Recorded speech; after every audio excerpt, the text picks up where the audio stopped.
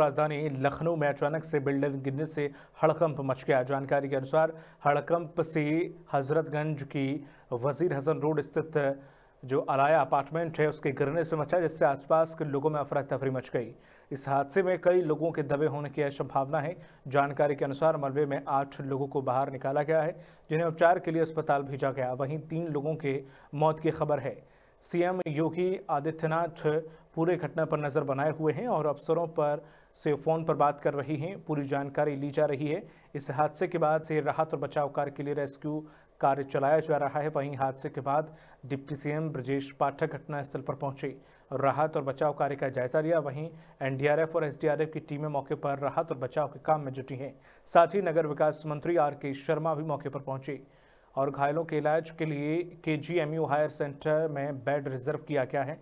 साथ ही ब्लड बैंकों को हाई अलर्ट किया गया है। सीएम योगी किसी भी वक्त घटनास्थल पर पहुँच सकते हैं।